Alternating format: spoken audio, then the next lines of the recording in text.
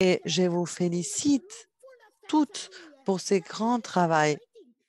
Sans vous, tout cela ne serait pas possible. Nous avons cette célébration aujourd'hui parce que nous avons la Convention 189 et aussi nous devons nous assurer que nous pourrons aller au-delà. C'est notre loi, nous devons la faire marcher pour nous.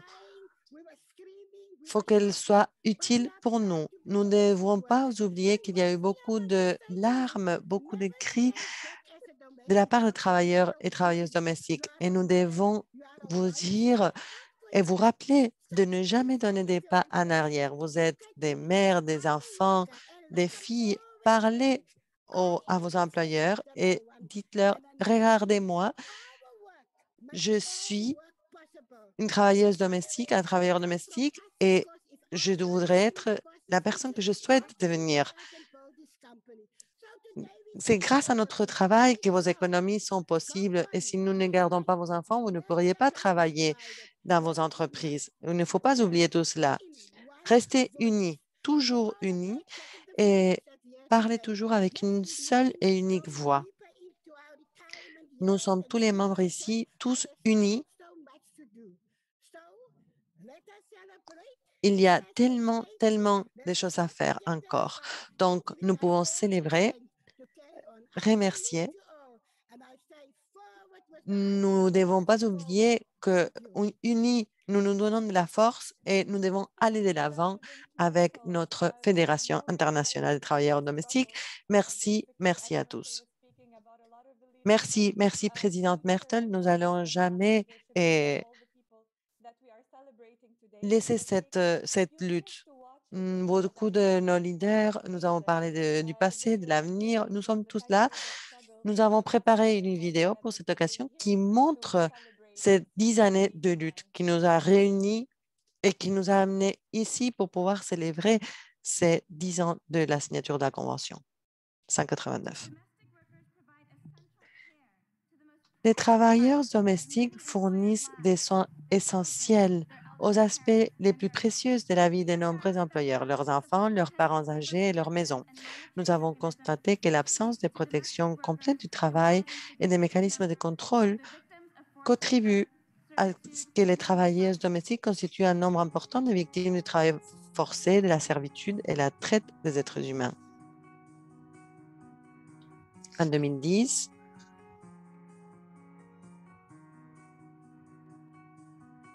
les travailleuses domestiques se sont unis avec d'autres pour avoir un traité sur le droit Aujourd'hui, nous, les travailleuses domestiques, nous devons mener le leadership de la délégation. Nous nous exprimons en notre nom.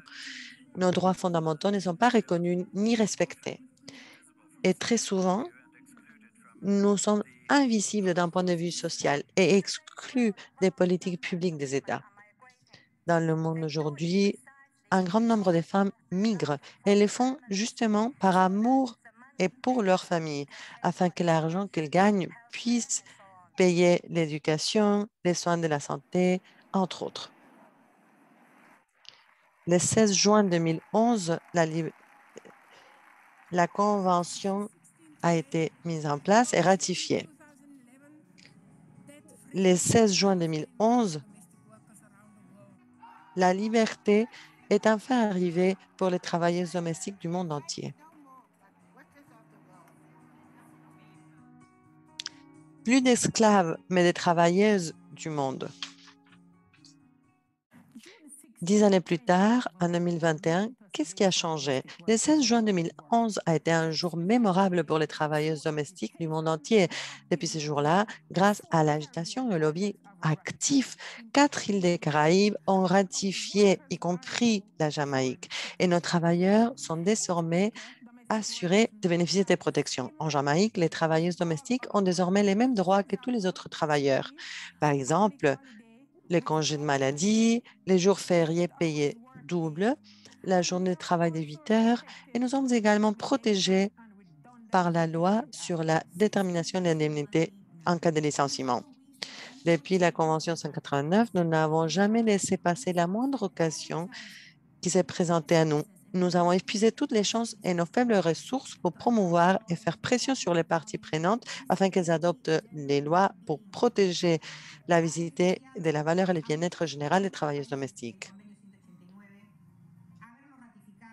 La Convention 189 a profité à de nombreux pays car elle a ratifié et mis en œuvre dans nos lois, par exemple la sécurité sociale, telle qu'adoptée au Mexique, la ratification de la Convention 189 au Pérou et par conséquent la loi pour les travailleuses dans les maisons privées, ainsi que la nouvelle loi en 2013 grâce à l'adoption de la Convention 189 en Argentine, la loi 26 844. Cette Convention 189 est la législation fondamentale qui nous permettra d'exiger les droits qui nous correspondent en tant que travailleurs. Les travailleurs domestiques s'activent et en Guinée particulièrement, les travailleurs domestiques savent qu'ils ont un syndicat qui les défend, qui les protège. Ils ont droit au SMIC, ils ont droit à un travail décent et à une vie décente. In Europe, before Convention 189, en Europe, avant la Convention 189, les travailleurs domestiques n'étaient pas du tout à l'ordre du jour et cela inclut les syndicats. Cela a changé.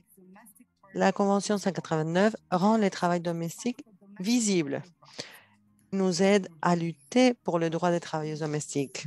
Les travailleurs travailleuses domestiques ont toujours utilisé des stratégies créatives pour s'organiser. Nous nous inspirons des générations précédentes nous avons adopté la Déclaration des droits des travailleuses domestiques dans dix États et deux villes. En Asie, les travailleuses domestiques de nos pays sont devenues visibles, ont une dignité et une protection sociale. Notre plus grande réussite jusqu'à présent est que nous avons le droit d'accéder aux tribunaux du travail, de nous syndiquer et d'organiser les travailleurs domestiques non organisés.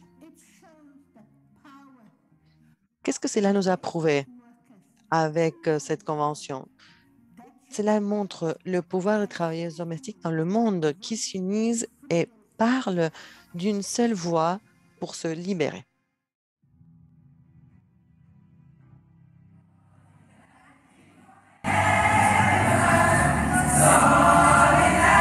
32 pays ont ratifié la Convention 189 et amélioré leur protection juridique. Des dizaines de pays ont de nouvelles garanties pour les travailleurs domestiques, un salaire minimum, vacances congés payés.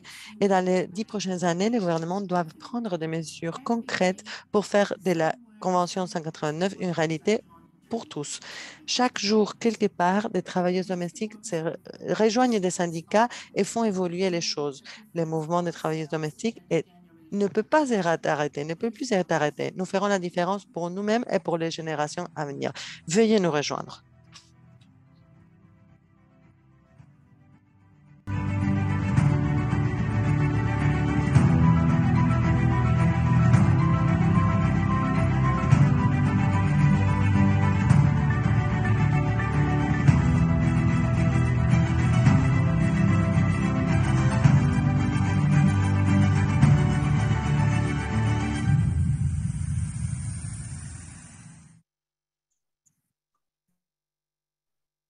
The domestic workers movement is unstoppable indeed. Les travailleuses domestiques et leurs mouvements sont vraiment très, très solides. Et si vous n'êtes pas encore inspiré, nous vous montrons cette vidéo, nous partageons avec vous cette vidéo et nous donnons la parole maintenant à Elisabeth Tang qui va nous partager ses paroles pour nous inspirer. Notre mouvement ne peut plus être arrêté et cela est grâce à vous. Dans cette célébration du dixième anniversaire de la Convention 189, nous toutes ensemble, avec Nigo, les femmes dans l'économie formelle et globale sont organisées et nous avons produit, élaboré un rapport des défis que nous devons relever à l'avenir et des buts que nous avons accomplis. Ces rapports est déjà prêt. Nous allons le partager et nous allons vous donner la possibilité de le lire pour que vous sachiez ce que nous avons fait lors des dix dernières années et comment nous voyons l'avenir, notre avenir. J'aimerais profiter de cette opportunité, euh, c'est un privilège pour moi, de donner la bienvenue à notre invité. Bon, à vrai dire, il ne s'agit pas d'une invitée, mais plutôt d'une alliée. C'est grâce à elle que nous sommes là où nous sommes aujourd'hui. Grâce à eux et à elle, nous avons pu continuer. Et nous avons trois personnes qui vont partager leurs idées et du courage pour continuer. Notre première participante est la coordinatrice Sally Rover, la coordinatrice internationale des WIGO. Comme vous savez, nous avons travaillé ensemble lors des dix dernières années. Et après, nous allons entendre Sue Longley, qui est la secrétaire générale du syndicat international des travailleurs de l'alimentation. Et Sue, avec son organisation, nous a donné vraiment une place, un foyer. Et nous allons puis entendre Manuela Tomei, la directrice des conditions de travail et égalité à l'Organisation internationale du travail. Et malheureusement, elle ne pourra pas être présente avec nous aujourd'hui, mais nous a envoyé une vidéo pour que nous puissions eh, partager cela avec vous. Merci beaucoup pour cette invitation. Merci pour pouvoir faire partie de cette journée. C'est un grand honneur pour moi de pouvoir partager cette déclaration de solidarité au nom de Diego. Et par rapport, n'est-ce pas, à cette convention 189, c'est incroyable. Dix ans se sont déjà passés. C'est un grand honneur d'avoir fait partie de la fondation de cette convention, cette première conférence, vous vous rappelez, internationale en Hollande. Et à ce moment-là, depuis ce moment-là, nous avons travaillé ensemble avec l'UITA pour pouvoir aboutir à ce moment. Aujourd'hui, nous travaillons de manière conjointe avec vous tous et vous toutes depuis ces premiers jours, n'est-ce pas, tout un formant. Tout d'abord, euh, la fédération qui a commencé par être tout d'abord une fédération de travailleurs et ensuite ce qu'elle est devenue aujourd'hui. Et nous avons réuni les travailleuses domestiques et cela un jour, disons, un jour, on a eu l'information que la Convention 189 allait être débattue et finalement adoptée pour que les travailleurs domestiques puissent connaître le processus, puissent connaître les grandes personnalités, puissent aussi exercer, n'est-ce pas, une influence et obtenir des résultats positifs. Il y a deux ans, en 2019, euh, je, en parlant de euh, la convention justement 190, moi je me rappelle, j'étais assise à côté des personnes qui étaient là, mais pour la première fois. Oui, on était, euh, disons, ensemble autour de cette table, une table énorme, comme vous voyez. Euh, il y a eu Mertel, il y a eu Fesch, oui, des personnes qui avaient fait partie aussi de de ces premières délégations et qui nous transmettaient leurs expériences. Vous savez, euh, vous savez tous attendre, vous savez très bien combien il faut faire des efforts pour aboutir à un consensus. Mais justement, nous avons beaucoup appris de vous, des pionnières, vous qui nous avez transmis toute votre expérience, euh, surtout euh, lors de l'adoption de cette convention 189. Et je voulais partager avec vous aujourd'hui parce qu'il est toujours important de reconnaître que nous faisons partie de quelque chose de spécial. Notre mouvement est en pleine croissance, notre monde autour de nous change tout le temps, mais il est très important d'écouter, n'est-ce pas, d'avoir cette, cette, oreille attentive, d'apprendre des autres. Et dans cet espace, cette table que je vous racontais, c'était un espace important. Nous tous, on, on apportait de nouvelles forces, oui, on, ont recruté de nouvelles personnes. Nous avons appris aussi de nos pionnières. Nous avons appris non seulement à donner une forme, n'est-ce pas, à, aux résultats, mais cette convention 189 nous a mobilisés, mais surtout autour du monde. Et il est très important de reconnaître qu'il y a des leçons apprises, non seulement pour les travailleuses domestiques, mais aussi tous les autres réseaux qui s'occupent des autres types de travail. Et quand nous parlons aussi des étudiants ou de vendeurs à domicile, n'est-ce pas, d'autres secteurs qui peuvent aussi nous rejoindre, n'est-ce pas, rejoindre notre réseau international, notre fédération internationale. Nous savons que nous avons encore des enjeux, mais nous allons faire face à ces enjeux ensemble. Donc, à toutes nos collègues, les pionnières surtout, je veux vous dire, vous êtes une inspiration pour nous. Et pour nous, euh, c'est un grand plaisir de continuer à travailler avec vous. Mes sincères félicitations.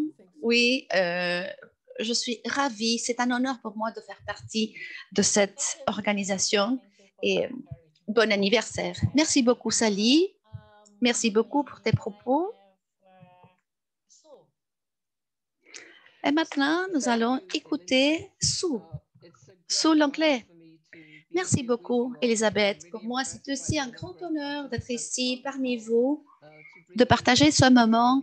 Je suis euh, contente, je vois avec euh, plaisir le nombre de participants et participantes qui sont ici.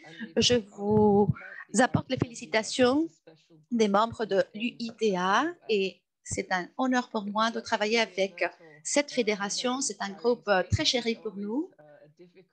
J'ai entendu euh, Mertel, n'est-ce pas, ses propos d'inspiration totale. Oui, cette énergie, l'énergie de Mertel, Mertel, euh, j'adore te voir là. Oui, tu nous rappelles euh, toujours que oui, on a eu cette lutte, n'est-ce pas, cette bataille il y a dix ans, cette bataille à laquelle Salif faisait référence. Aujourd'hui, c'est une journée vraiment de célébration, de reconnaissance. C'est la journée de l'adoption de la Convention 189. Et pour moi, disons, notre prochain pas, disons, si je regarde un peu l'avenir, je pense que ce qu'il faudrait faire, c'est ce qu'on a fait, c'est justement dire finalement que les travailleuses domestiques sont aussi des travailleuses et qu'elles doivent aussi accéder à toute la protection du, droit du travail. Il faut que tout le monde comprenne l'importance de ces travailleuses dans les économies, n'est-ce pas? Disons, l'apport qu'elles font à travers euh, leurs activités est basé sur l'effort de ces travailleuses. Justement, le monde continue à évoluer. Donc, il est très important d'avoir ça, n'est-ce pas, dans l'esprit et de reconnaître ce travail. Et cela nous montre aussi tout ce qui reste à faire. Il y a des histoires de milliers et des milliers de travailleuses domestiques qui ont été licenciées, qui n'ont pas une bonne protection, qui n'ont pas la protection de la sécurité sociale, euh, et qui, aussi, qui reçoivent aussi des salaires très, très bas. Mais cette convention 189 euh, a marqué un point très important. Imaginez si euh, la Fédération internationale de travailleurs n'existait pas ou si cette convention n'existait pas, les choses seraient beaucoup plus difficiles. Donc, je pense, j'insiste aujourd'hui, nous devons célébrer, nous devons reconnaître et comprendre aussi qu'il y a des défis encore dans l'avenir.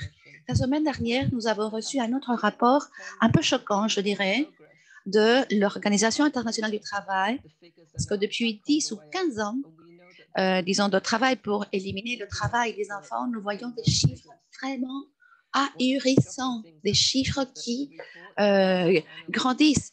Euh, l'un des points les plus graves, je dirais, de ce rapport, c'est que cela a commencé avant la pandémie de la COVID-19. Et, disons, on ne sait pas encore, disons, les raisons de ces chiffres, mais je pense qu'il faut comprendre que c'est un rappel, que la lutte est constante, que la lutte est permanente, qu'il faut obtenir plus de, de ratification de, de ces conventions. Je suis ici, je vais Écoutez avec attention vos histoires parce que de vos histoires, de vos récits, nous allons obtenir le récit, l'inspiration nécessaire pour pouvoir travailler vers l'avenir pour que le monde continue à protéger ce secteur. Merci, Elisabeth. Merci, Mertel. Je suis ravie de faire partie de cet événement et de continuer à travailler avec vous. Solidarité pour toujours. Vive la Fédération internationale des travailleuses et travailleurs domestiques.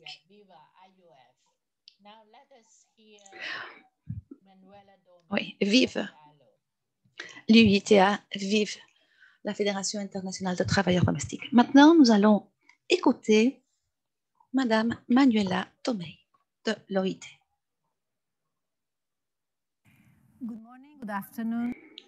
Alors, bonjour, bon après-midi, bonsoir. C'est un honneur de m'adresser à la Fédération internationale de travailleurs travailleuses domestiques et du monde entier aussi à l'occasion de la Journée internationale des travailleurs domestiques. Il s'agit d'une journée internationale particulière qui coïncide avec le dixième anniversaire de la Convention 189 de l'OIT sur le travail décent pour les travailleurs domestiques. Je me souviens très bien de la joie, des cris, des larmes oui, qui ont éclaté dans la salle de la santé des Nations Unies lorsque la conférence internationale du travail a adopté la convention. Je me souviens en particulier de la danse des travailleurs domestiques qui, pendant deux ans, ont contribué à l'élaboration de leur convention, votre convention, depuis euh, le banc de travailleurs, vos idées, votre persévérance et votre détermination ont été essentielles à l'adoption de la Convention 189. Mais ce n'était que le début d'un voyage beaucoup plus long et si mieux, je dirais, pour faire de ce monde un endroit meilleur pour tous les travailleurs et travailleuses domestiques. Dix ans se sont écoulés depuis lors et, et beaucoup de choses se sont produites depuis lors, notamment l'apparition de l'une des pandémies, des pandémies les plus ravageuses de ces dernières 100 ans. Aujourd'hui, il est temps de faire le point euh, ou de faire le bilan tant sur les réalisations que sur les défis qui restent à relever et de réfléchir à la manière d'accélérer le rythme du changement transformationnel. C'est ce que s'efforce de faire le rapport de l'OIT intitulé Faire du travail domestique un travail décent, progrès et perspective, dix ans après l'adoption de la Convention sur les travailleuses domestiques, qui sera lancée le 15 juin. Permettez-moi euh, de partager avec vous quelques-uns de ces messages. Nous avons constaté des progrès dans la reconnaissance du travail des travailleurs domestiques. Aujourd'hui, un pourcentage relativement élevé des pays offre des protections en matière de travail et de sécurité sociale. Bien qu'il existe de grandes variations d'une région à l'autre, des progrès ont été réalisés, en particulier dans la réglementation du temps du travail. Et cela, c'est grâce aux années d'efforts des organisations de travailleurs et travailleuses domestiques partout dans le monde la Fédération internationale des travailleurs domestiques la CSI. Ce qui fait défaut, cependant, c'est la mise en œuvre. Les, conditions du travail restent très mauvaises, l'informalité, euh, les inégalités ou les écarts dans la protection juridique euh, sont deux fois plus élevés que chez les autres salariés. Cela signifie des salaires faibles et volatiles, euh, qu'il n'y a pas de congé maladie payé, pas d'assurance chômage et souvent pas d'accès aux soins de santé. Ces inégalités en matière de protection ont montré les effets dévastateurs qu'elles peuvent avoir sur les travailleurs domestiques lors d'une pandémie. Comme dans le cas présent, de nombreux travailleurs domestiques ont contracté le virus en raison du manque, n'est-ce pas, des équipements de protection ou de l'incapacité d'appliquer appliquer les règles, n'est-ce pas, en matière de soins physiques et ont dû cesser de travailler ou ont perdu leur emploi. Par conséquent, pendant le confinement, de nombreux autres travailleurs ont été renvoyés chez eux sans savoir s'ils pourraient retrouver leur emploi.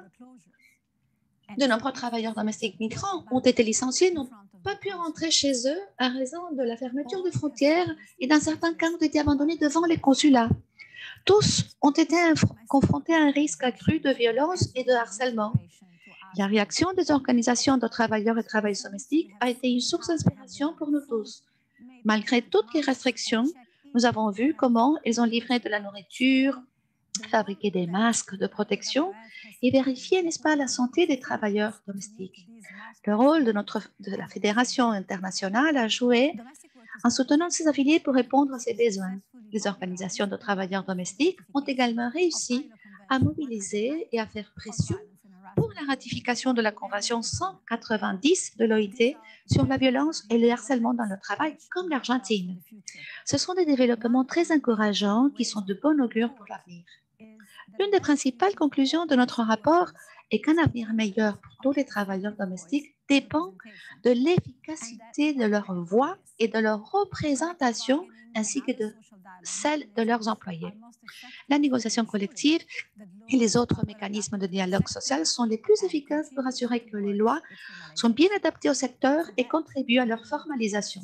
Pour cela, nous avons besoin d'organisations de travailleurs domestiques fortes, démocratiques et bien équipées. Cette réunion est la preuve que nous sommes sur la bonne voie.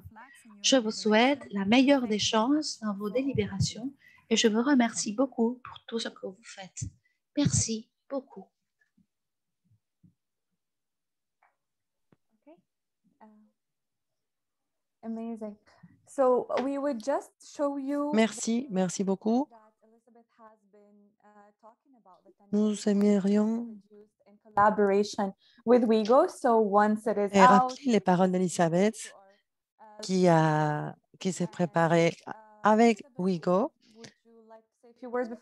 Elisabeth, est-ce que vous souhaiterez dire quelques mots avant de, de passer au panel des, discussions, des débats? Oui, bien sûr. Voici le rapport dont je parlais auparavant. Nous l'avons élaboré avec WeGo.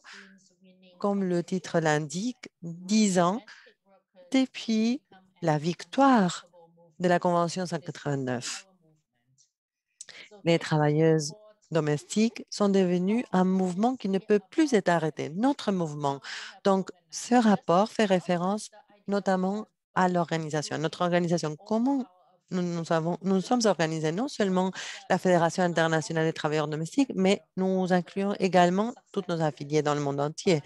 Bien sûr que nous ne pouvons pas transmettre et inclure tous les succès, tous les cas de succès, mais nous avons essayé d'inclure quelques exemples clés. Donc, j'espère que ces rapports vous inspirent également sur euh, comment les travailleuses domestiques ont essayé par tous les moyens et avec tous les, tous les ressources dont elles disposaient, elles ont réussi à construire ces mouvements et nous allons continuer à avancer pour faire plus de progrès à l'avenir pour que tous les travailleurs et travailleuses domestiques puissent être libres. Comme Merzel, notre président, l'a dit au début, aujourd'hui, une nouvelle union des travailleuses domestiques et travailleurs domestiques se forme. Les syndicats des travailleuses et domestiques des Malaisie et Indonésie, c'est les, les premiers syndicats de leur euh, type et cela démontre que les travailleuses et travailleurs domestiques ne s'arrêtent jamais, qu'ils continuent de s'organiser tout le temps. Merci, merci Elisabeth. Nous avons, nous sommes remplis d'espoir, nous avons plein d'espoir et nous sommes ravis de célébrer ce jour-ci avec tous nos affiliés et nos travailleurs et travailleuses domestiques. Je tiens à vous rappeler certaines questions de, par rapport à la logistique. Si vous avez des questions, vous pouvez les formuler dans les chats. Et à la fin, si nous avons des temps, nous allons avoir du temps pour des questions et des réponses. Autrement, nous allons faire un rapport à la fin sur les conclusions de ces webinaires et nous allons aborder ces questions soit à l'écrit ou à l'oral.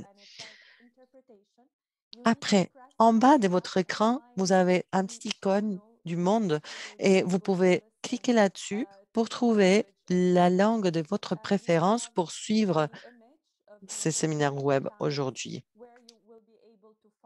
Nous avons différents can- canaux d'interprétation où vous pourrez trouver les différentes langues disponibles aujourd'hui.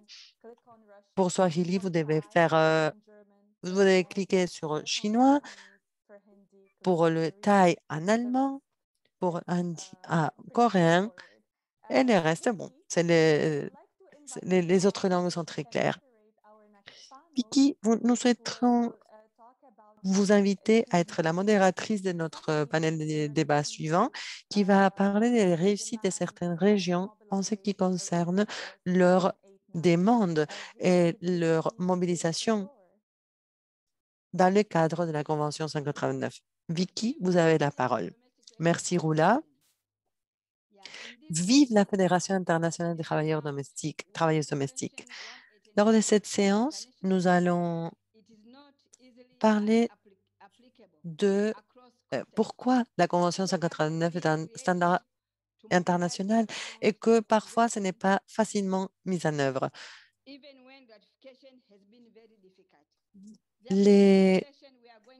Même lorsque la ratification a été difficile à obtenir, cela été, a permis d'être un cadre de lutte. Nous allons voir certains intervenants, Gilda Blanco de l'Amérique du Nord, Mariana Bunda de la région Moyen-Orient et Afrique du Nord, MENA. Nous allons à Bajopin Kamida de l'Asie et Veuillez m'excuser de la mauvaise prononciation de ce prénom. Et nous allons avoir également Rous Sakala de l'Union de travailleuses domestiques de la Zambie. Donc, nous allons donner la parole en premier lieu à Gilda, Gilda de l'Amérique du Nord. Les États-Unis sont très connus pour le fait de ne pas ratifier des conventions et pour le fait d'avoir euh, des gouvernements autonomes. Donc, comment peut être et la Convention 189 peut être mise en œuvre? Gilda, vous pouvez eh, nous répondre? Vous avez la parole. Vous m'entendez correctement? Oui, tout à fait. Donc, merci, merci Vicky, merci à tous et à toutes. Merci de m'avoir invité pour ce panel de discussion. Tout d'abord, je tiens à vous féliciter à tous et à toutes qui travaillaient si durement et qui avaient travaillé si durement lors des dernières années dans le cadre de la Convention 189. C'est un travail très dur, mais nous devons continuer à lutter. Donc, la question est la suivante. Jusqu'à présent, une fille au père ou quelqu'un qui fait le ménage aux États-Unis a travaillé sans contrat, sans protection de sécurité sociale, sans protection au niveau de la santé. Il s'agit des travailleurs et travailleuses qui sont le moins bien payés aux États-Unis. Il y a des défis particuliers pour la réalisation de ce type de travail. Deux millions de travailleurs et travailleuses, deux millions d'endroits de travail et deux millions d'employeurs différents. Voici des contextes très différents, un très grand nombre de contextes très différents pour garantir des eh, conditions de travail. Donc, les travailleurs domestiques aux États-Unis ont été exclus des protections de base du lieu de travail au niveau de l'État et au niveau fédéral, au différents, états, différents États au niveau fédéral. Et cette exclusion a eu l'origine à cause de l'esclavage aux États-Unis et le racisme, le sexisme auquel les travailleuses domestiques ont dû faire face tout au long de l'histoire jusqu'à présent. Les travailleuses domestiques ont utilisé des stratégies, stratégies, très créatives, comme nous avons mentionné, comme nous avons vu dans la vidéo au début de cette célébration.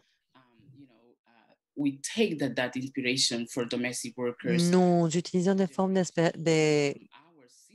d'inspiration très créatives en nous basant dans les générations précédentes. La NWA a plus de 35 chapitres affiliés. Et elle est basée également dans des membres individuels, sur des membres individuels. Donc, nous avons des contacts régulier avec des plus de 2500 travailleuses du monde dans tous les États. Nous avons des campagnes pour euh, changer les politiques au niveau local, au niveau des États et au niveau fédéral pour avoir, avoir des standards et des lois pour tous les travailleurs et travailleuses domestiques avec l'engagement et la contribution de la Fédération internationale des travailleurs et travailleuses domestiques pour avoir la, ratification de la Convention 189 aux États-Unis avec la contribution, l'apport de droits.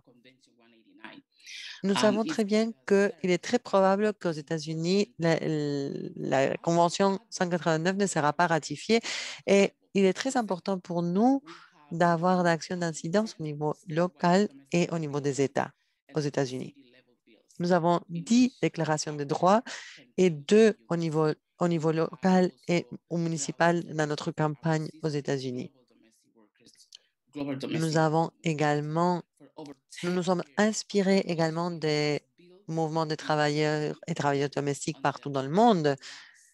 Pendant des années, nous avons basé notre travail sur leur victoire et ils sont également un standard pour notre secteur qui n'existait pas auparavant. En 2018, avec la Déclaration des droits nationaux qui a été introduite par un ancien sénateur, par la vice-présidente actuelle, Mme Harris, ça a fait partie de la législation fédérale qui comprend les travailleurs et travailleuses domestiques dans la loi du travail qui concerne d'autres travailleurs. Donc, cela crée une protection pour pouvoir mettre en œuvre et appliquer ces lois. Cette semaine, nous avons eu l'introduction de la Déclaration de droits de New Jersey, la numéro 11. Et au fur et à mesure que nous approuvons ces déclarations de droits au niveau des États, au niveau fédéral, nous pouvons continuer à continuer à répandre, ces politiques. Et tout ce travail est fait au niveau international et local. Et c'est un autre exemple de comment les travailleuses domestiques peuvent être des leaders vers un chemin d'économie des soins qui soit bonne pour tous, qui marche pour tous. Et cette déclaration des droits va appliquer, va permettre d'appliquer ces droits à tous les travailleurs domestiques du pays entier. Nous avons eu du soutien ou réuni du soutien lors des dernières années pour cette déclaration et cela sera présenté au Congrès. Donc, on aimerait vous inviter à rester attentive à tous ces changements et nous invitons, nous invitons tous, non seulement les 50 États aux États-Unis, mais à tous et à toutes, nous souhaitons vous inviter à faire partie de cet, de cet effort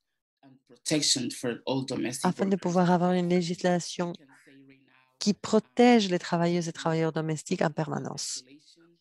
Donc, je tiens à vous dire euh, félicitations Vive les travailleurs et travailleuses domestiques, vive la célébration de la Convention 189 et merci, merci à tous.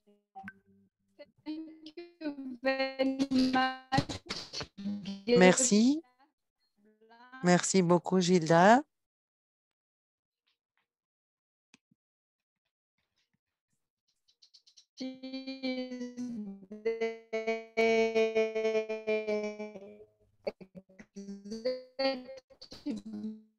Nothing can be prevented when we unite together. The second presenter Lorsque nous sommes unis, rien n'est impossible. Nous pouvons aller très, très loin. Notre prochaine oratrice est Marianne Abunda, qui représente l'Association des travailleuses domestiques de Kuwait, Sandigan, de la région de MENA. La Convention 189 est un outil contre le système de kafala. Comment a-t-il été utilisé? Quelle est votre expérience? Pouvez-vous nous donner une idée de quelles sont vos pensées, vos conclusions? Anna, vous avez la parole. Marianne, vous avez la parole. Nous attendons l'audio de notre intervenante. Anna, pouvons-nous vous aider à subvenir votre problème technique?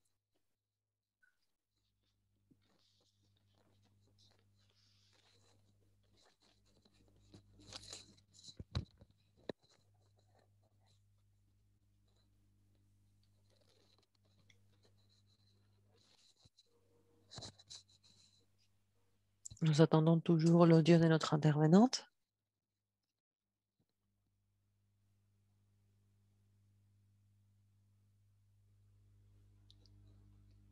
Please bear with us. I see Anna. Alors, veuillez patienter quelques instants, s'il vous plaît. Anna, welcome. Apparemment, le son revient. Parfait. Merci. Merci, Anna. Bonjour. Bonjour, bonsoir, bon après-midi. Tout d'abord, je tiens à vous féliciter.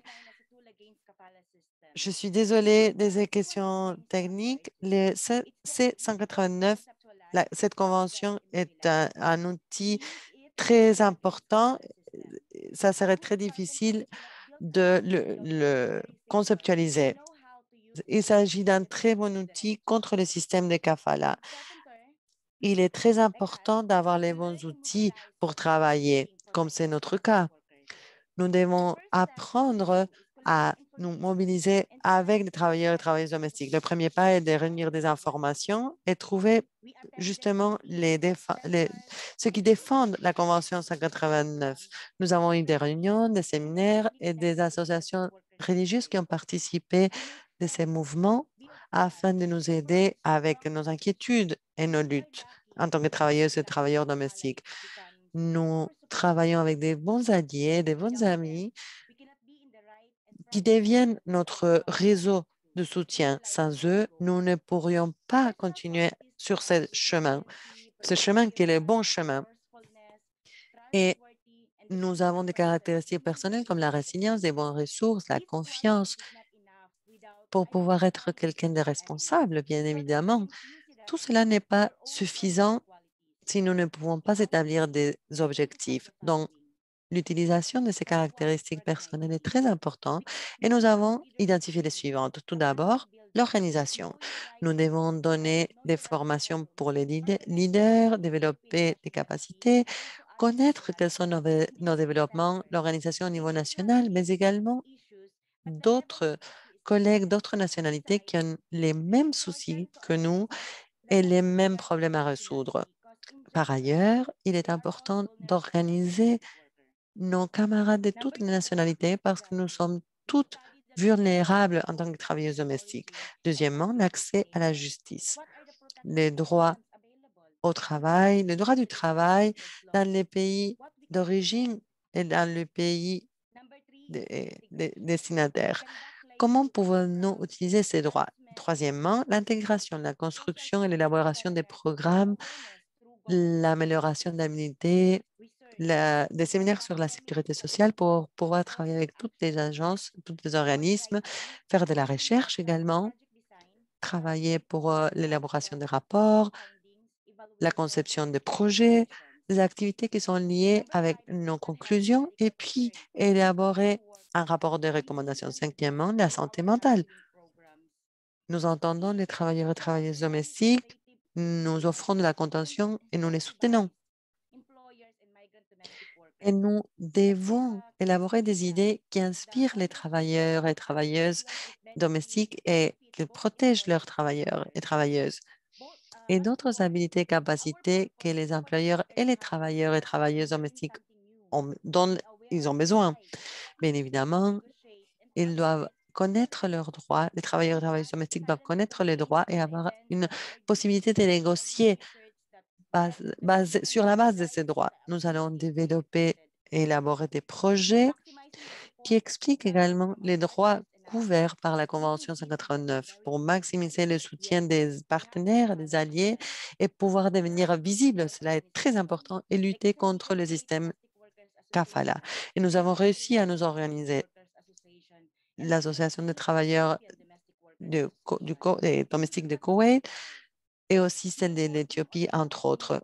Nous n'allons pas nous arrêter ici. Nous allons travailler sur différentes nationalités qui sont les plus vulnérables pour pouvoir collaborer avec les systèmes qui ont lieu en Afrique. Aucun pays du Moyen-Orient est libre de ces systèmes. Nous avons aussi des systèmes de kafala. Nous devons nous mobiliser, nous organiser, travailler. Ce n'est pas impossible, c'est juste un grand défi.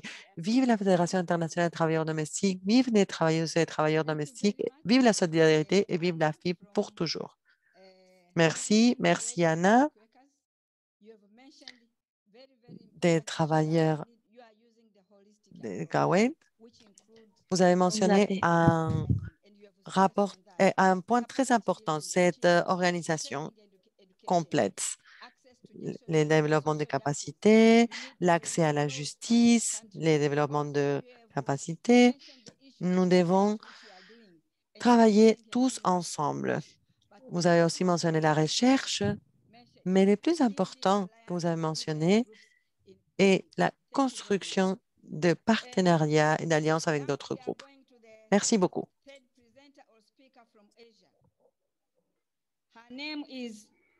Maintenant, nous avons une oratrice de l'Asie, Bajoplin Karmudaï.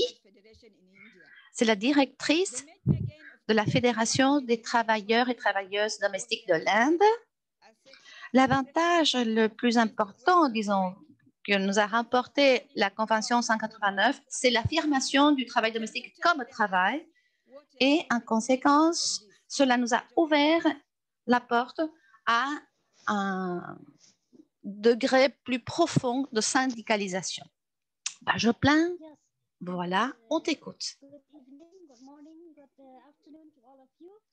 Alors, bonjour, bonsoir à vous tous et toutes. Alors, je vous félicite tout d'abord, mes sincères félicitations pour ce, ce dixième anniversaire de l'adoption de la Convention 189. En Inde,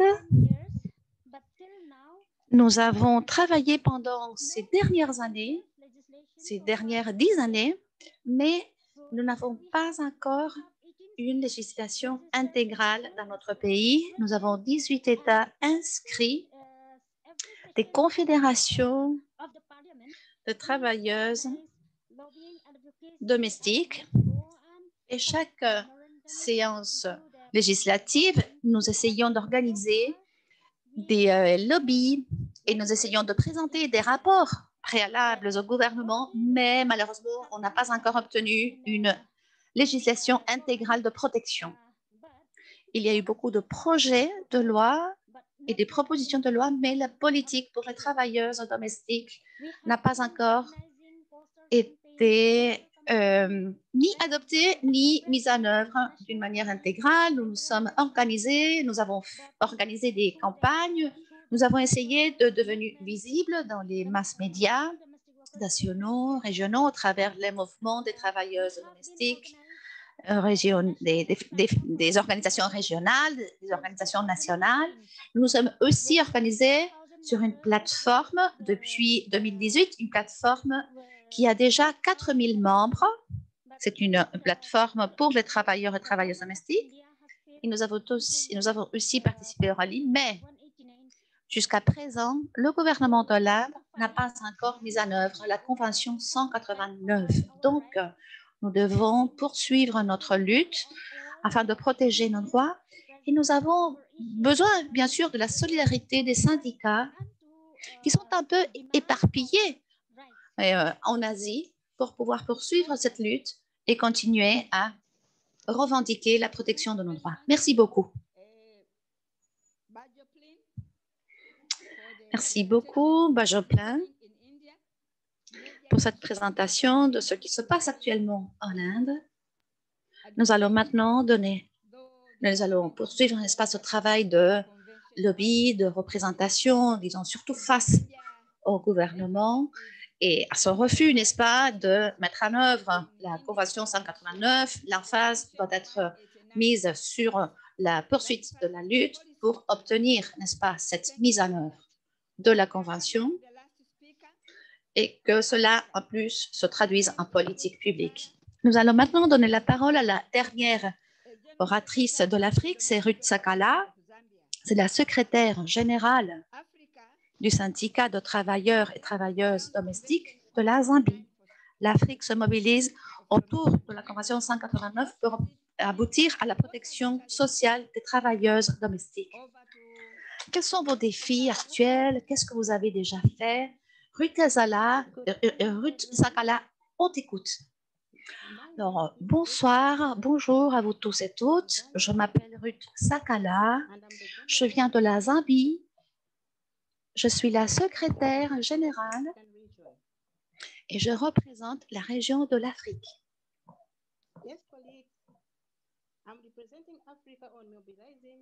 Chers collègues, je représente la mobilisation de l'Afrique autour de la Convention 189 pour obtenir la protection sociale de nos affiliés. C'est un grand honneur de faire partie de ce panel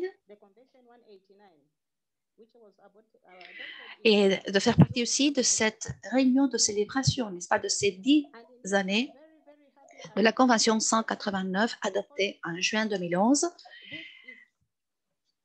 Et je me réjouis de cette réunion pour les travailleuses domestiques parce que justement, c'est une réunion qui nous représente. Par exemple, en Zambie, j'aimerais vous raconter un peu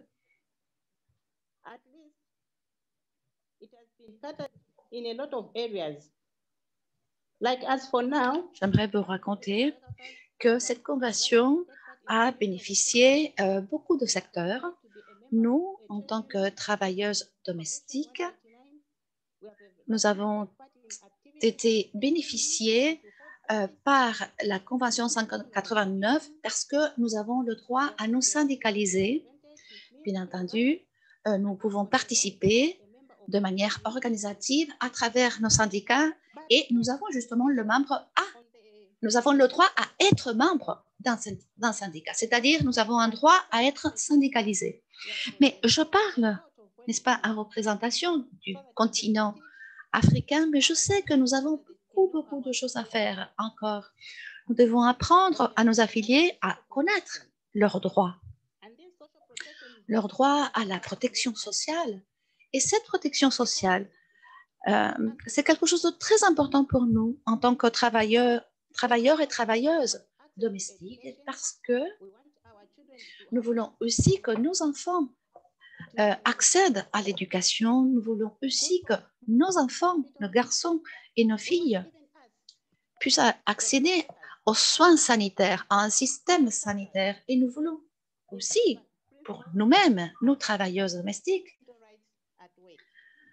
être incluses et inclus dans cette panoplie de droits, n'est-ce pas, cette protection sociale.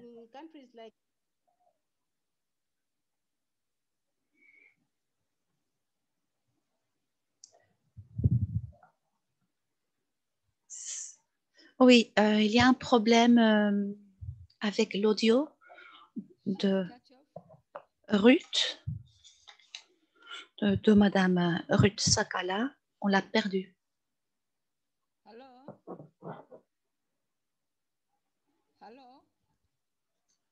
Ruth, tu nous entends?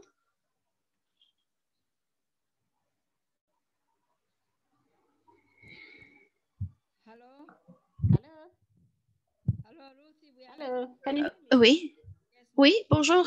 Euh, vous m'entendez? Oui, d'accord. Alors, on reprend. Oui, il y a eu une coupure. Oui. Oui, je m'excuse. Hein.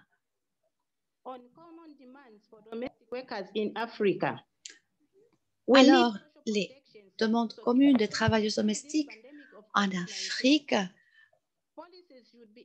euh, coïncident avec la, le besoin de protection sociale, surtout euh, maintenant euh, que nous vivons cette pandémie, la protection sociale doit être incorporée à la législation. Voilà une revendication très ponctuelle que nous avons. Merci beaucoup, Ruth. Il y a eu malheureusement une coupure dans, ton exposé. C'est sûrement dû à l'Internet. Je pense que tu as parlé de la protection sociale.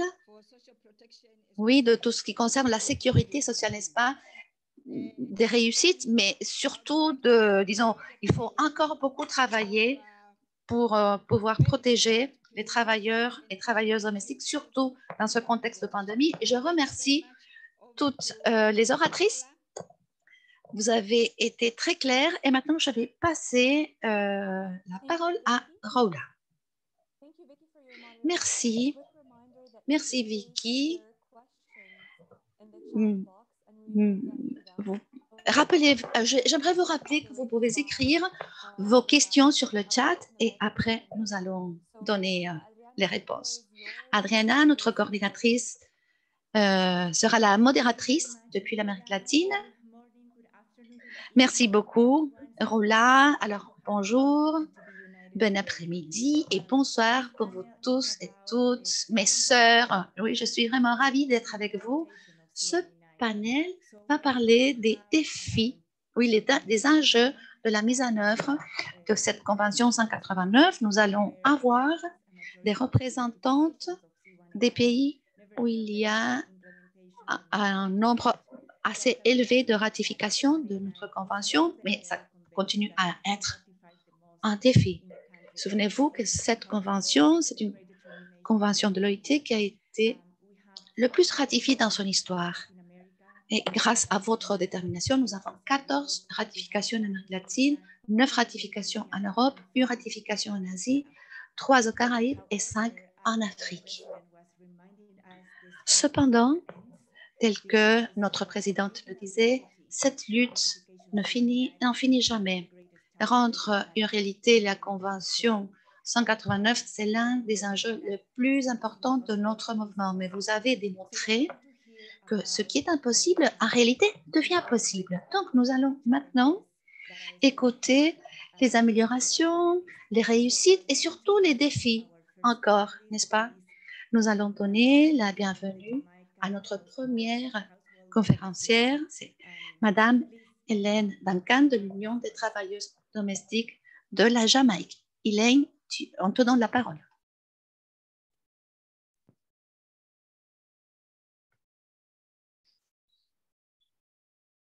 We have Elaine? Est-ce que Hélène est avec nous?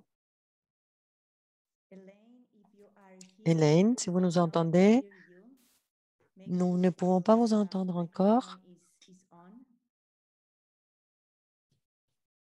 Est-ce que vous avez allumé votre micro? Hélène, vous êtes là?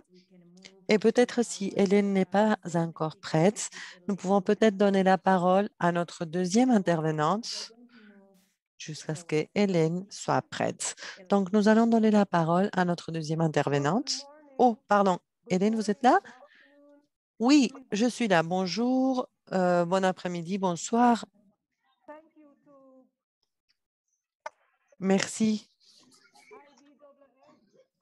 Merci à la Fédération internationale des travailleurs et travailleuses domestiques et félicitations pour l'anniversaire numéro 10 de cette convention 189. Nous avons une très longue histoire de mobilisation des travailleuses, des, des, travailleurs et travailleuses domestiques. Pendant des décennies, les traditions juridiques et les relations de travail ont été discriminatoires à l'égard des travailleuses domestiques, comme c'est le cas dans de nombreuses sociétés postcoloniales qui rémunèrent le travail qui a besoin d'une éducation formelle et en même temps rendent l'éducation formelle très peu abordable. L'économie informelle comprend de nombreuses populations appauvries qui sont le résultat d'histoires de travail forcé, d'esclavage, de déplacement, de la dette au niveau économique mondial. Le Bureau des Caraïbes de l'Organisation internationale du travail, en collaboration avec le Bureau des affaires des femmes de la Jamaïque et l'Association de la Jamaïque des travailleuses domestiques ont organisé un atelier stratégique dès les années 90 pour améliorer la situation des travailleurs et travailleuses domestiques. Nous avons qu'au moins 15% des femmes au Jamaïque sont employées dans le secteur du travail domestique et que ces chiffres sont encore plus importants pour les femmes qui sont employées occasionnellement. Dans l'ensemble des Caraïbes, dans les pays où il existe un salaire minimum au niveau national, les travailleuses domestiques se retrouvent au plus bas de l'échelle. En raison de la pandémie, nous avons vu plus de femmes qui ont essayé d'entrer dans le secteur du travail domestique parce que le travail est devenu moins accessibles. Sans le leadership des femmes dans nos syndicats, l'aide apportée dans le cadre de la pandémie n'aurait pas pu être possible. Notre présidente, Shirley Price, a obtenu des dons pour les travailleuses domestiques avec des jours de paye et des colis de secours, car même si certaines mesures ont été mises en place pour le gouvernement pour que les personnes qui en avaient besoin puissent bénéficier des fonds, l'accès a été très difficile le National Union of Domestic Employees de Trinité et Tobago, le NUDE, n'a pas été en mesure d'accéder aux ressources car le ministère du Travail et les tribunaux industriels ont été fermés. Les systèmes dans lesquels les gens devaient s'inscrire en ligne ne, ne marchaient pas et n'étaient pas très faciles à utiliser pour les utilisateurs. Aujourd'hui, nous célébrons le dixième anniversaire de la Convention 189.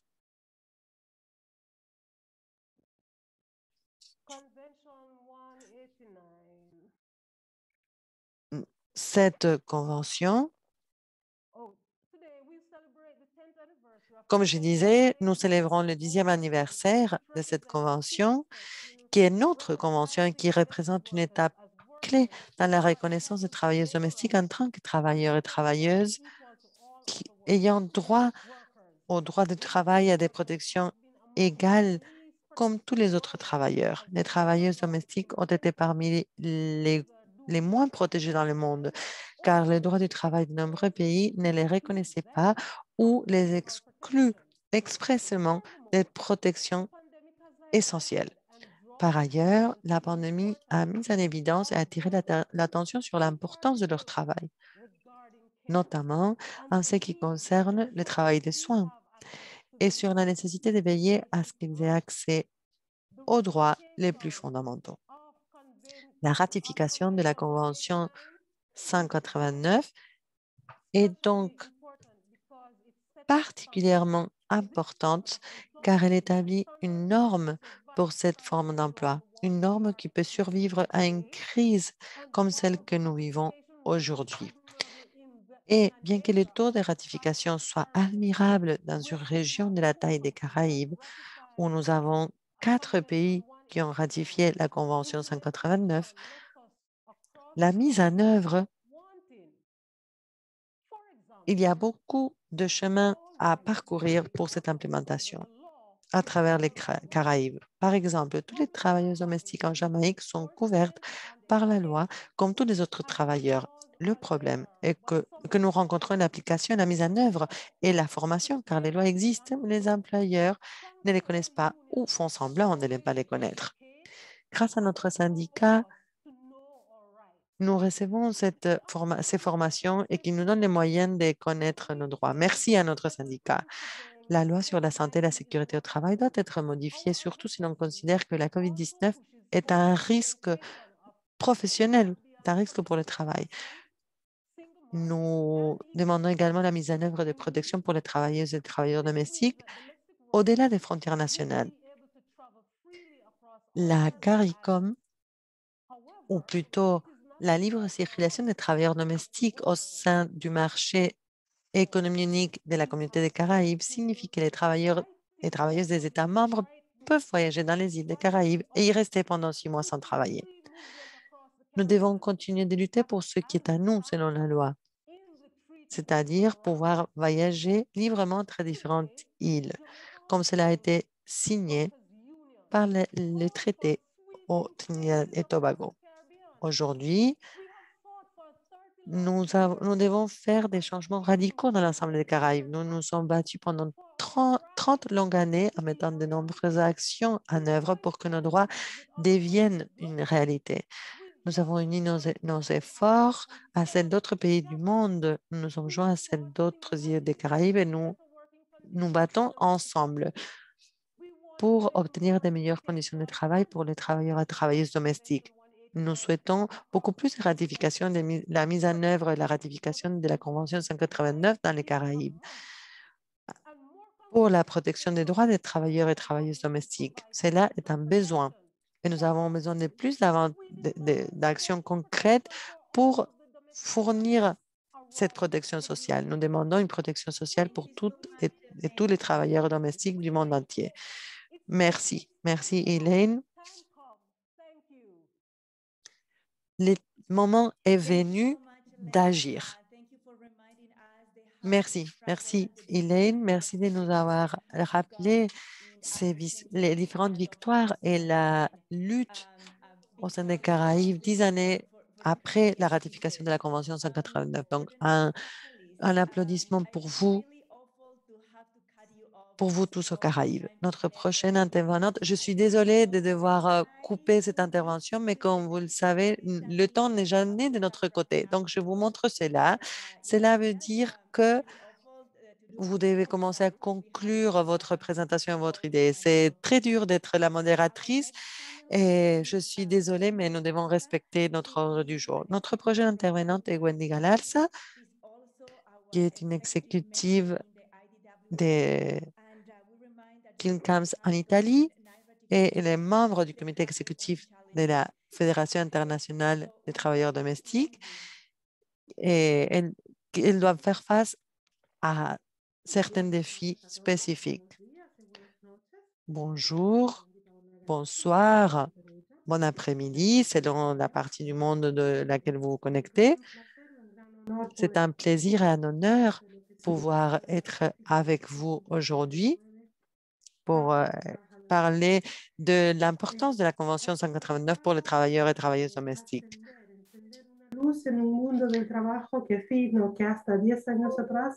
Ceci a été très important pour euh, apporter certains droits qu'il y a 10 ans n'existaient pas pour pouvoir continuer à demander au gouvernement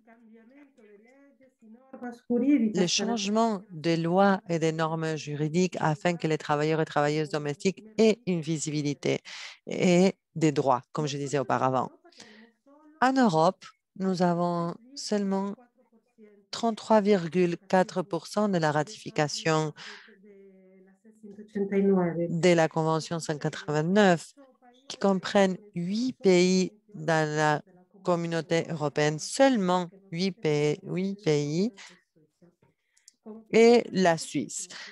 Comme vous le voyez, cela est très, très peu de pays qui ont ratifié cette convention et il y a une incidence très haute des travailleuses domestiques qui ne déclarent pas leur présence en tant que travailleuses domestiques et que ce pourcentage peut aller jusqu'au 66 c'est un monde que, euh, auquel je m'adresse souvent en, en au genre au, féminin et je m'excuse auprès des travailleurs domestiques masculins parce que dans la plupart, il s'agit des femmes. Je peux vous parler de la réalité de l'Europe. Nous avons besoin solo un 70% de las trabajadoras comme nous avons encore 70% des travailleuses domestiques qui ne sont pas déclarées, les bénéfices de la Convention 189 pour ces travailleuses. Ne vont pas régler les questions politiques ou juridiques, mais aussi les questions qui ont euh, une influence sur la vie de ces travailleuses en ce qui concerne leur journée de travail, un jour de repos, un endroit décent où dormir à la fin de leur journée de travail, lorsque eh, les travailleuses qui travaillent dans les eh, domiciles de leurs employeurs. Donc, de la, du point de vue humain, nous devons donner une dignité à un groupe de personnes, des femmes, migrantes ou non, et donner un cadre de travail décent qu'il y a dix ans, elle n'avait pas. Je vous ai mentionné spécifiquement ce qui arrive en Italie. En Italie, nous pouvons dire qu'il s'agit d'un coin paradisiaque, pour ainsi dire. Mais cela n'est pas tout à fait vrai. Il est vrai que nous avons un cadre juridique qui nous aide, bien évidemment, à améliorer les conditions de travail et qui a été mis en place grâce à la Convention 189. Mais ces cadres juridiques doivent être effectivement, concrètement mis en place. Notre cadre juridique nous permet d'avoir un renouvellement, renouvellement de contrat, une convention signée avec le gouvernement. Et cela nous permet d'avoir une entité bilatérale avec laquelle nous pouvons organiser des formations, des ateliers de formation. Cela nous permet d'avoir une entité eh, dénommée Casacor qui nous permet de mettre en place la partie qui n'est pas remplie du contrat pour les travailleurs domestiques. Mais il manque encore une partie fondamentale qui est la mise en place de la Convention 189 dans notre pays. Le gouvernement doit encore décider d'élaborer des, lois en prenant en compte ce cadre juridique international qu'aujourd'hui, en 2021, cela n'a pas encore été fait. Nous, à la FilmCals, nous sommes une grande organisation avec d'autres associations syndicales, nous avons présenté au gouvernement un document dans lequel nous demandons au gouvernement, nous établissons qu'il s'agit du bon moment pour mettre en place et adapter le cadre juridique à cette loi, car seulement de cette manière, nous pourrons parler d'un coin paradisiaque. Autrement, c'est des choses que nous disons, des belles choses que nous disons, mais ce n'est dans la ah, concrètement, ce n'est pas une réalité. Et les femmes nous ont appris, celles qui ont lutté avant nous, comme Myrtle, comme Marcelina Bautista, comme Ernestina Ochoa, comme Juana Flores, et nous ont appris que nous ne souhaitons pas une convention qui soit très belle dans la théorie, mais qui ne soit pas mise en place dans la réalité. Nous souhaitons avoir une convention qui soit juste pour tous, qui permette l'égalité des droits pour nous toutes, car nous ne souhaitons pas avoir une convention qui soit belle dans la théorie et pas appliquée dans la réalité. Nous souhaitons avoir des droits comme tous les autres travailleurs et travailleuses partout dans le monde, car les femmes que nous avons mentionnées avant ont été des femmes qui ont lutté et que avant 2011, c'était organisé et qui ont permis que nous soyons ici dix ans après pour célébrer la Convention 189. Nous souhaitons avoir une, une convention réelle dans tous les pays et aussi en Italie. Merci, merci beaucoup. Merci, merci Wendy. Vous, vous avez respecté le temps. Merci, merci beaucoup. Et il est vrai que nous avons besoin, nous souhaitons avoir une convention qui dignifie et change les vies des travailleurs et travailleuses domestiques. Donc, euh, encore un grand applaudissement pour Wendy et félicitations à nos sœurs et camarades en Europe. Nous allons eh, donner la parole à notre prochaine intervenante de l'Amérique latine, Maria Cotal de Fesintracap du Chili, que la Fédération des travailleurs et travailleuses domestiques au Chili et qui ont se sont organisés pendant beaucoup d'années. Nous devons rappeler que l'Amérique latine a 14 ratifications de la Convention 189. Cependant, les défis qu'ils doivent relever sont les mêmes que partout dans les autres régions. Bienvenue, Malia. Bonjour, bonsoir, bon après-midi. Après dix ans de l'adoption de la Convention 189, nous célébrons et nous saluons cette, cette œuvre qui nous permet d'avoir un travail décent avec des conditions dignes.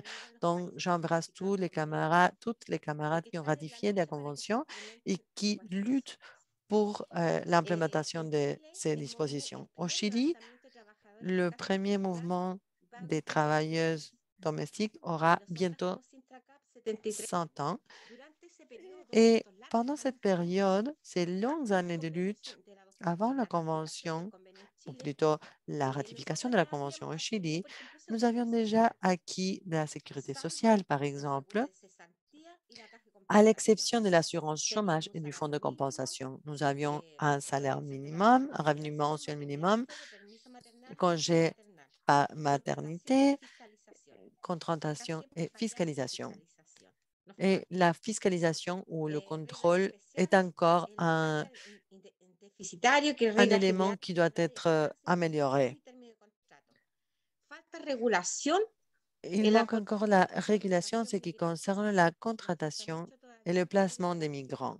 Il y a un long chemin à parcourir au Chili pour pouvoir remplir les conditions de la Convention 189 en ce qui concerne l'immigration. En 1991, l'indemnisation a été créée en cas de finalisation du travail. La loi 19.591 répond le droit à, à la, de congé maternité aux travailleuses domestiques. para jornada selon les conditions de la sécurité sociale pour La journée 20.000 complète jusqu'à 2011. de ingreso mínimo mensual a partir del año La 2011. loi de eh, 20 336 r- est applicable aux travailleuses domestiques et applicable à toutes et, et tous les travailleurs et toutes les travailleuses domestiques. Jusqu'à ce moment-là, nous n'avions pas de droit aux jours fériés. Eh, la 20.786 loi 20 786, qui est notre bijou que nous avons réussi pendant les dernières années, grâce à des années d'efforts, des grandes années d'efforts, qui remplit des obligations de- d'enregistrement, qui limite les journées de travail jusqu'à 46 heures. Auparavant, nous devions travailler 74 heures et les heures sup sont limitées jusqu'à 15 heures par semaine Eh, et un repos minimum. Et la- les, les journées, les, se- les semaines de travail sont du lundi au vendredi et nous avions juste un- une demi-journée de repos tous les 15 jours. Et l'exigence d'uniforme dans les endroits publics est interdite parce que dans le passé, et cela a permis de la discrimination envers nos camarades. 34 que promulga Décret numéro 189 34 del pour le 2016. travail décent en 2016 au Chili. La protección de, Dans le cadre de la protection, ou plutôt del convenio 189, se la Convention 189, la distinction entre employés et ouvriers est éliminée et permet qu'en cas d'accident de travail ou maladie professionnelle, les travailleurs domestiques affiliés à l'Institut de sécurité du travail puissent avoir accès à l'attention de santé et cela a été mis en place et entré, entré en vigueur le 1er janvier 2019. La loi 21 269 inclut le euh, travailleuse, travailleuse domestique à l'assurance chômage et aussi au fonds de compensation. 20 ans d'années ont été nécessaires pour avoir cette assurance chômage. C'est l'obligation de notre État que l'État a maintenant pour euh, remplir les conditions de la Convention 189. Tout cela a eu un impact positif, mais cela ne garantit pas des changements constants dans le temps sans l'aide des politiques euh, publiques supplémentaires. Pourquoi? Car il n'y a pas de contrôle, il n'y a pas de fiscalisation. La fiscalisation, comme dans la plupart des pays de l'Amérique latine, empêche les lois la y en la práctica. Que les lois soient applicables dans la réalité et dans la pratique de manière concrète. Depuis l'existence de la Convention 189, les organisations des, tra- travailleurs domestiques ont- sont devenues un acteur important dans la génération de politiques publiques pour le secteur, malgré la faiblesse ou le mauvais dialogue social au Chili. Nous, en tant que travailleuses organisées, nous avons utilisé tous les moyens disponibles, la presse, la télévision, les législateurs, afin de pouvoir avancer et acquérir nos buts. Les organisations de travailleurs domestiques ont prouvé que l'incidence politique et la communication et la fiscalisation systématique ont des impacts positifs dans la- la- la- l'accomplissement de la Convention 189, comme cela a été établi dans le rapport périodique au Chili, le comité de la CEDAW. Durante el 2015, En 2015, que se promulgó la ley 20.786, perdón. où la loi a été en vigueur, Euh, je vais m'arrêter là parce que nous avons, euh, le rapport il est très très long. Nous avons eu des grandes réussites au tout, au- tout au long de ces dernières années, mais j'aimerais prendre un petit moment, si vous me permettez, pour faire un rappel à notre grande leader, Aida Moreno. este mundo. Aida Moreno nous a quittés, mais elle nous a laissé un énorme exemple des luttes, des résistances, des persistances, des convictions. Notre camarade a lutté pour notre secteur pendant 60 ans presque. Et dans les dernières années, elle n'avait plus la force pour nous accompagner. Mais malgré cela, depuis son isolement, elle, elle nous encourageait toujours. Donc, si vous me le permettez, je vais vous demander une minute de silence pour notre camarade Aida Moreno Valenzuela.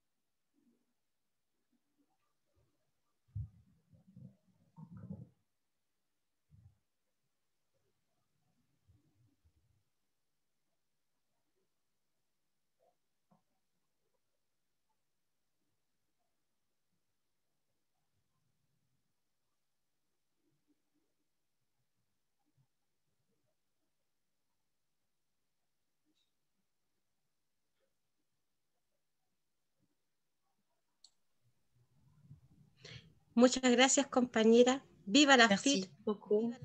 Vive les FITD. Vive les travailleuses domestiques du monde entier. Merci beaucoup. Je vous prends dans mes bras. Merci beaucoup, Maria. Aida Moreno, présente.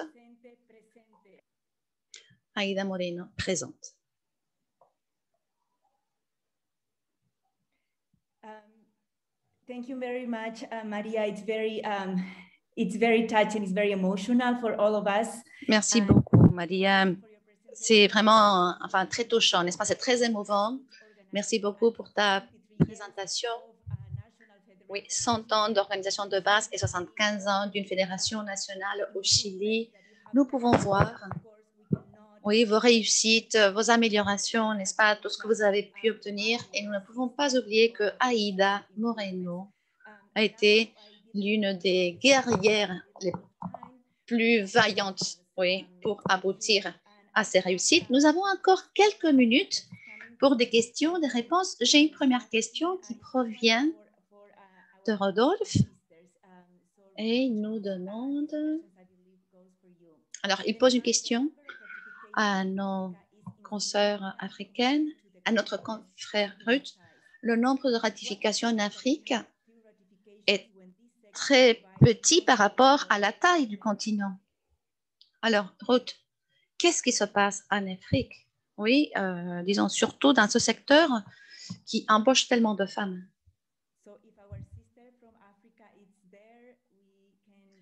Alors, Ruth, si, tu es là et tu peux donner une réponse à cette question?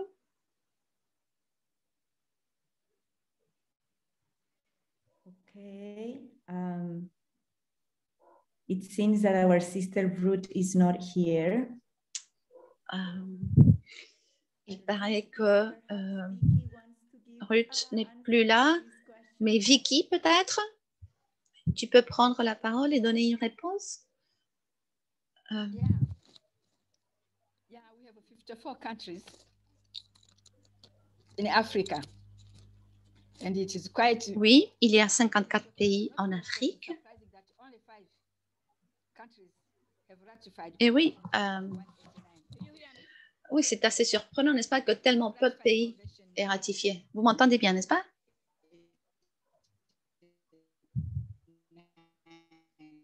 Hmm. pas tellement bien.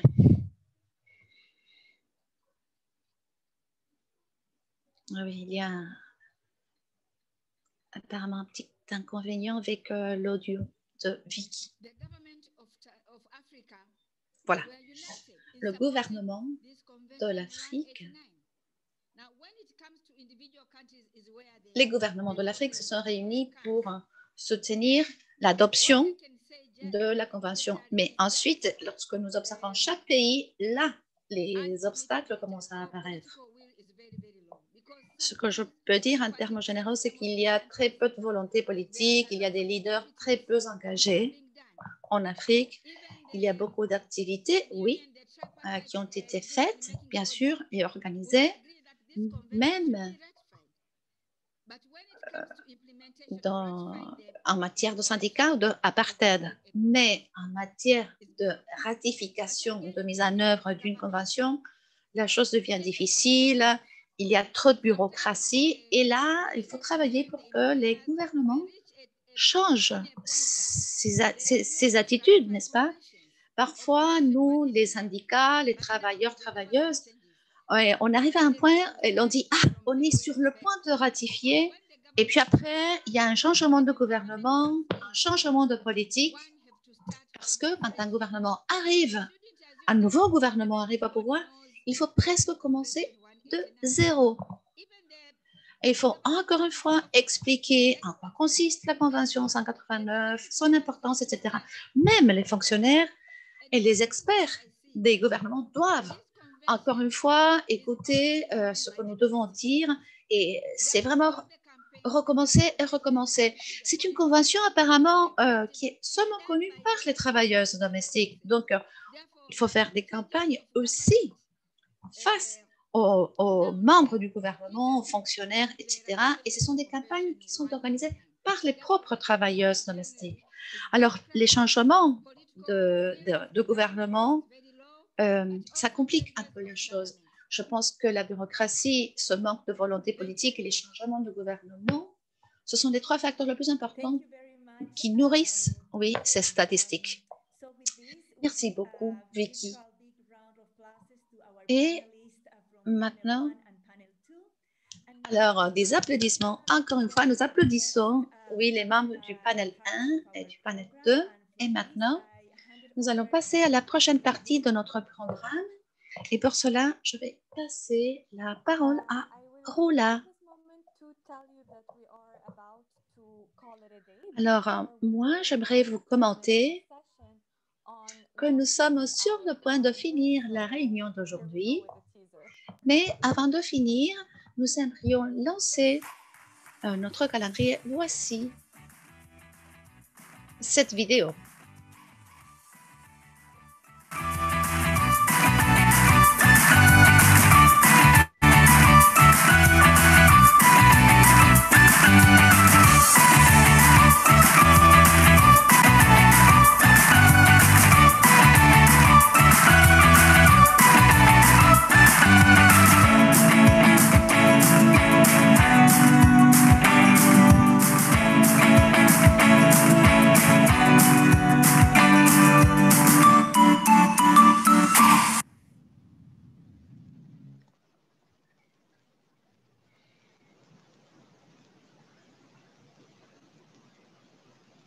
Some of you recognize these images.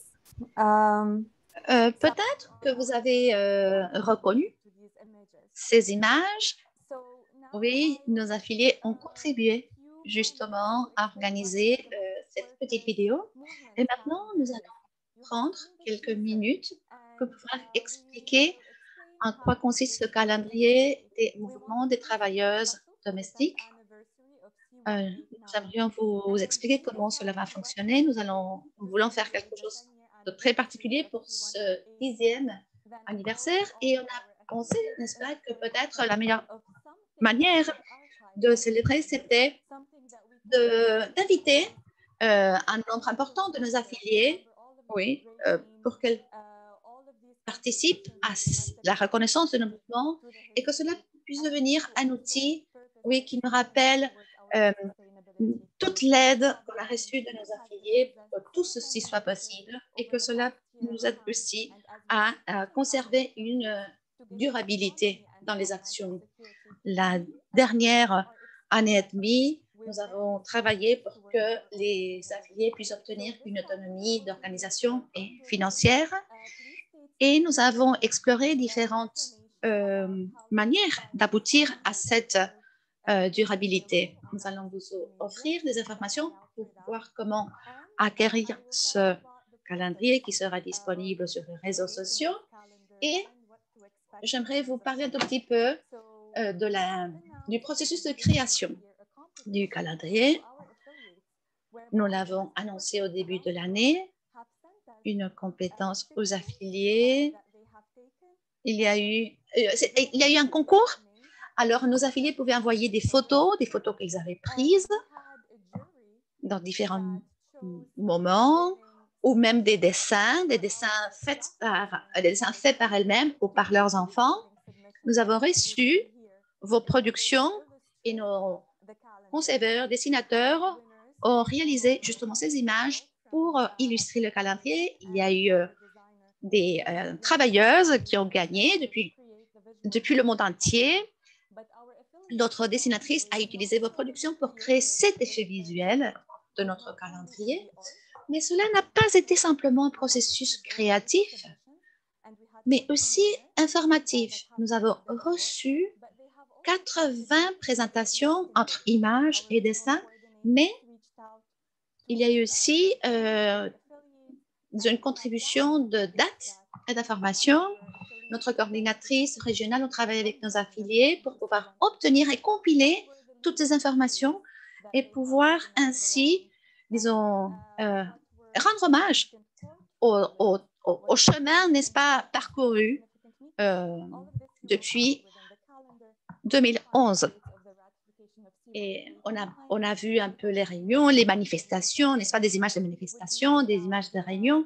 Et nous attendons encore beaucoup plus de choses à travers ce calendrier, surtout d'ici dans l'avenir. Nous avons fait euh, un rappel des dates, des dates marquantes. Nous avons montré aussi des photos de la vie quotidienne de nos travailleuses, de nos affiliés. Nous avons aussi euh, montré des dates euh, disons, de moments de fondation, moments de fondation de certaines organisations, des organisations très chéries, n'est-ce pas pour nous? Voilà les dates importantes, les dates marquantes dans chaque mois.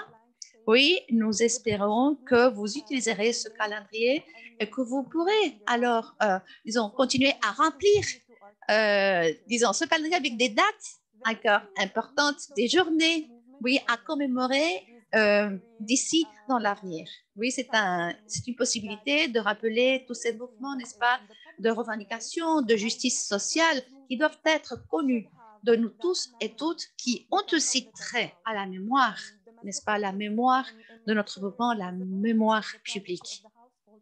Les travailleuses domestiques sont naturellement invisibles, mais ces mouvements de travailleurs, travailleuses domestiques doivent être, n'est-ce pas, rappelés. C'est un peu ce que nous avons voulu faire avec ce calendrier. Donc, il y a des travaux artistiques euh, sur la base des productions de nos membres et affiliés. Il y aura aussi des dates marquantes. Il y aura aussi des thèmes à aborder par mois qui concernent quelques célébrations euh, ou quelques hommages qu'on va rendre euh, à la consécration, par exemple, des droits en faveur de travailleurs et travailleuses ou d'autres, euh, euh, thèmes aussi importants, par exemple des revendications des mouvements autochtones, par exemple.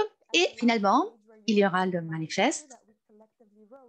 donc, si vous pouvez aller à la dernière page du calendrier, là, nous avons rédigé lors de euh, la commémoration de ce dixième anniversaire de la Convention 189, nous avons rédigé un manifeste pour pouvoir parler fort et représenter euh, la justice sociale et vous représenter. Donc, j'aimerais maintenant inviter les membres de notre comité exécutif afin qu'ils nous lisent le manifeste qui figure sur la dernière page de ce calendrier. Donc, Andrea, si tu veux, Dagmour, Norma, Vous m'entendez? D'accord. Parfait. Alors, et finalement, ce sera Bertol qui prendra la parole. Donc, Andrea, tu commences. Bonjour à tous. Bonsoir à tous et à toutes. Un grand plaisir d'être ici avec vous. Andrea Morales de l'Amérique latine. Le travail domestique rend tout autre travail possible et maintient la vie et l'économie. Mais il est sous-évalué. En tant que travailleurs, travailleuses domestiques, nous subissons des injustices cumulées à raison de notre genre, race, couleur, croyance, origine ethnique, système de caste, identité de genre, orientation sexuelle, religion, capacité, statut familial, âge, statut migratoire et nos documents. Notre travail est historiquement effectué par des femmes et gratuitement. Il est non valorisé et sous-compensé. Il n'y a pas de justice pour les femmes sans nous. Merci. Yanu? Yanou, Yanu.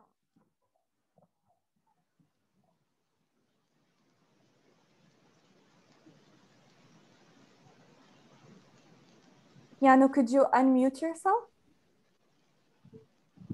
Yanou,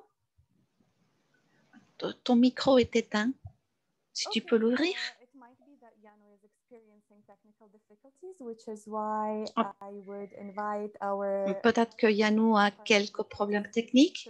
Je veux donc euh, demander à notre vice-présidente, Carmen Benitez, de nous lire la prochaine partie.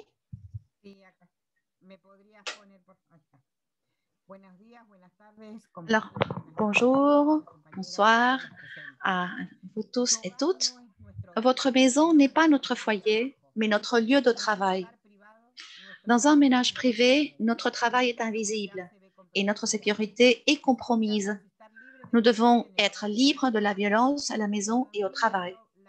Les mouvements ouvriers ont obtenu de nombreuses victoires pour les travailleurs et travailleuses. Des de journées de travail de 8 heures, du temps de repos, La protection de l'emploi. La syndicalisation a rendu ces droits possibles pour beaucoup. Thank you so much, Carmen. Merci beaucoup, Carmen. Dakmour, bonjour, bon après-midi et bons- bonsoir à vous tous et toutes. Nous, travailleurs et travailleuses domestiques, nous sommes organisés pour nos droits et avons obtenu la Convention 189 de l'OIT qui stipule que le travail domestique est un travail et que nous avons le même accès aux droits du travail que tout autre travailleur ou travailleuse. Sans protection, nous subissons le travail des enfants, le travail forcé, les visas liés à l'employeur et la traite. Notre travail doit être digne et libre de coercion. Nous ne sommes plus des esclaves, nous sommes des travailleurs et travailleuses. Notre lutte syndicale et la justice raciale sont indivisibles. Merci beaucoup.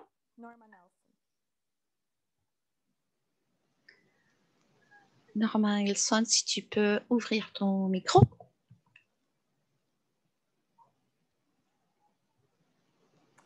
If not, I would ask our General Secretary Elizabeth Tang to take the floor. for- Autrement, je vais demander à Elisabeth, je vais demander à Elisabeth Tang de lire cette dernière partie. Nous émigrons, faisant profiter les pays d'origine et de destination de nos transferts et de fonds et de notre travail.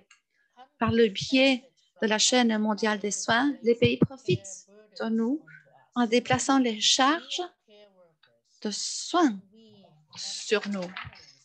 Nous sommes des soignants et des soignantes et nous avons besoin, ainsi que nos familles, d'être pris et pris en charge. Nous devons être maîtres de nos corps et de notre avenir. Le silence et la peur ne devraient pas être des conditions de travail. Merci beaucoup. Et finalement, Myrtle, notre présidente, on t'écoute.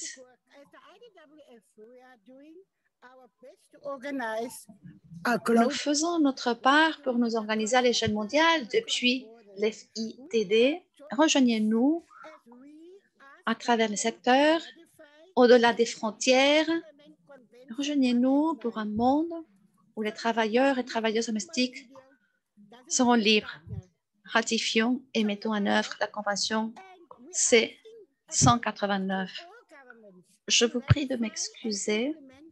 Nous demandons à tous les gouvernements de ratifier et de mettre en œuvre la Convention 189. Aujourd'hui, ça a été une journée inoubliable pour les travailleuses et travailleurs domestiques. Merci beaucoup pour être ici. Merci beaucoup pour avoir, euh, pour nous avoir consacré une partie de euh, vos dimanches. Et comme Rola l'a dit, merci beaucoup. Rola, tu as fait un travail excellent. Merci à la vice-présidente, à la secrétaire générale. Merci à vous tous. Merci à vous toutes autour, oui, dans le monde entier. Et maintenant, je vais vous demander d'ouvrir vos micros et de chanter avec nous. Vicky, toi, tu commences et puis nous, on te suit. Et qu'est-ce que nous allons dire? Qu'est-ce que nous avons? Nous avons une convention. Voilà. Vicky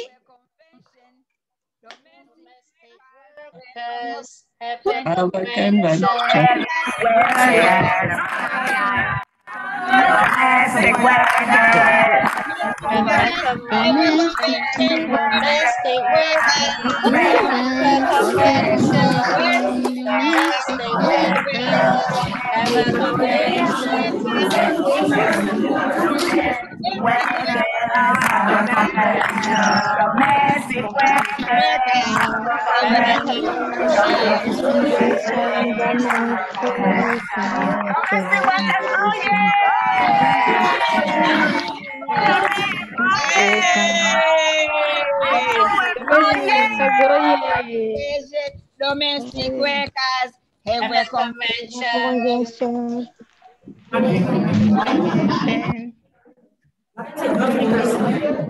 Isso! Fábio!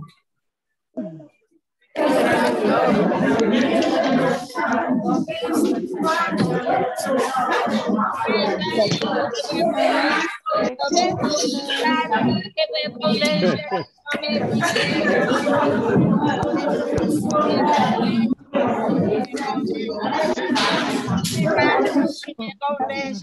Promessa de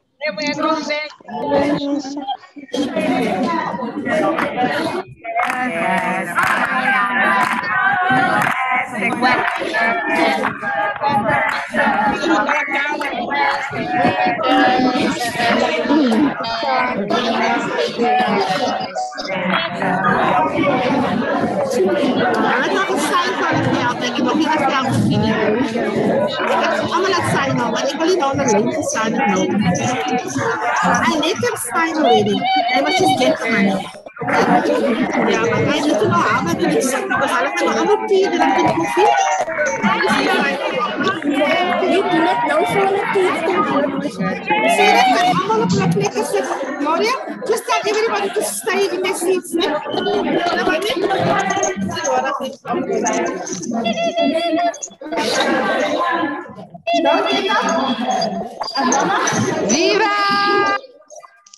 Viva! Viva! Trabalhadoras domésticas do mundo. Gloria. Viva, viva, Amanda. Pode fazer assim. Tá no áudio, certo?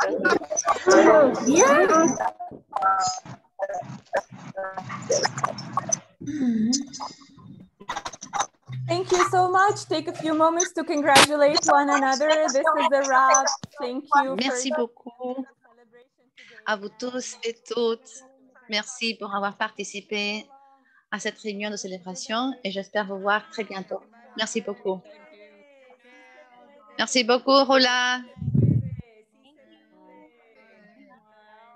Tchau a todas, um abraço, bom domingo a todos. Obrigada. Obrigada.